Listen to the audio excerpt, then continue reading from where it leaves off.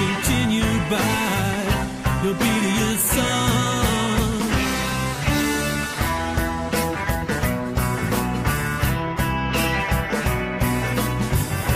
Man trains his children, emulate his right.